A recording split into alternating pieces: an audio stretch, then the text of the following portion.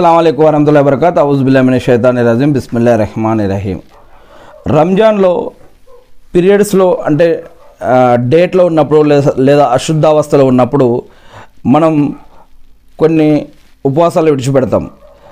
మరి ఉపవాసాలు విడిచిపెట్టబడ్డటువంటి ఉపవాసాలు రంజాన్లోని ఇతర దినాలలో పూర్తి చేసుకోవాలని చెప్పడం జరిగింది.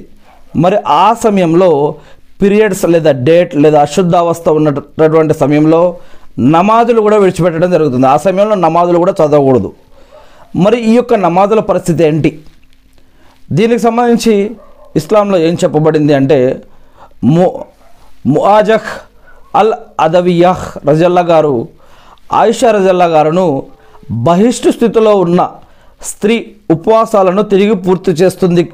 కానీ నమాజులను కాదు. ఎందువల్ల అని ప్రశ్నించడం జరిగింది. ఎవరిని? ఆయిషా రజల్లా గారిని.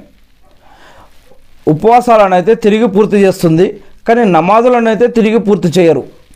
ఎందుకు అని అడగడం ఈ యొక్క సహాబా గారు ఆ యొక్క ఆయుష రజల్ల గారిని అడగడం జరిగింది.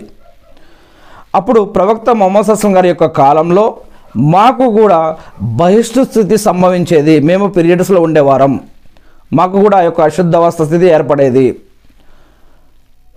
అప్పుడు మాకు తప్పిన ఉపవాసాలను తిరిగి పూర్తి చేసుకోవాలని ఆదేశించేవారు. అయితే నమాజులను తిరిగి పూర్తి చేసుకోవాలని మాత్రం ఎక్కడ ఆదేశించలేదు. అందువల్ల ఉపవాసాలను తిరిగి పూర్తి చేసుకోవాలి. నమాజును కాదు అనే సమాధానం ఇచ్చారు. ఉపవాసాలను మాత్రమే తిరిగి పూర్తి చేయాలి. ఆ సమయంలో విడిచిపెట్టేటువంటి నమాజులు కాదు.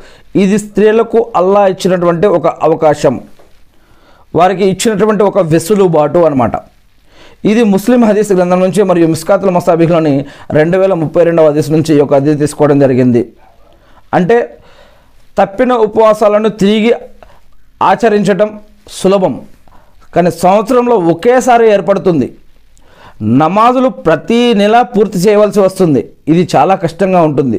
కానీ ఏది ఏమైతేనేమి స్త్రీలకు అల్లా సుమతల కొన్ని విషయాలు ప్రత్యేకంగా ఇవ్వడం జరిగింది. ఒక తల్లి పిల్లలని కంటూ ఒకవేళ మరణం సంభవిస్తే వారికి షహీద్ యొక్క వీరమరణం యొక్క అవకాశం వారికి కల్పిస్తారని చెప్పడం జరిగింది. అలానే ఇక్కడ వారు ఇలాంటి పీరియడ్స్ డేట్ డేటు బహిష్టు ఇటువంటి స్థితిలో ఉన్నప్పుడు ఇలా విడిచిపెట్టినటువంటి నమాజులు ఏవైతే ఉన్నాయో వాటిని కూడా అల్లా సుమాతాల మాఫ్ చేయడం జరిగింది అని ఈ యొక్క అదీస్ ద్వారా అర్థమవుతుంది. ఇలాంటి ఇంకా కొన్ని విషయాలు స్త్రీలకు ప్రత్యేకమైనటువంటి కొన్ని అవకాశాలు ఇవ్వటం జరిగింది. వారికి ఇంకా కొన్ని ప్రత్యేకమైన రాయితీలు మరియు స్వర్గంలోనూ ఇహలోకంలోనూ వారికి అనేక రకాల విలువలు ప్రత్యేకతలు ఇవ్వడం జరిగింది. వీటి గురించి మనం తెలుగు బుకారీలో ఇంతకుముందే ఖురాన్ మరియు హదీసుల ఆధారంగా చెప్పుకోవడం జరిగింది. నేను ఏది ఏమైతేనేమి నేను సృష్టికర్త అయిన అల్లాను ప్రార్థిస్తూ ఉన్నాను. అల్లా మా అందరి యొక్క పాపాలను క్షమించండి వల్ల. అల్లా మీరు అర్ రెహమాన్ రహీం అల్లా అల్లా మా మాలిక్ యోమెద్దీన్ అల్లా అల్లా మా అందరి యొక్క పాపాలను క్షమించి మా అందరికీ ఇహలోకంలో సమాధిలో పరలోకంలో కూడా అన్ని విధాలుగా మీ యొక్క సహాయ సహకారాలు మాకు అందించడం వల్ల మేము మోయలేని బరువును మాపై మోపకండి వల్ల మమ్మల్ని మన్నించి వదిలిపెట్టడం వల్ల మమ్మల్ని క్షమించడం వల్ల.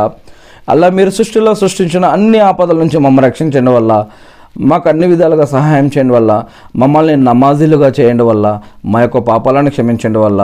అల్లా ముస్లింలుగా ఉండగానే మాకు మరణాన్ని ప్రసాదించండి వల్ల అలా ఖురాన్ని మాకు వచ్చిన భాషలో చదివే అర్థం చేసుకొని ప్రవక్తలు మరియు సహబాలు ఏ విధంగా ప్రవక్త మరియు సహబాలు ఏ విధంగా అర్థం చేసుకొని జీవించారో ఆ విధంగా మేము కూడా ఖురాన్ని అర్థం చేసుకొని జీవించే భాగ్యాన్ని మాకు ప్రసాదించండి వల్ల. ఆమీన్.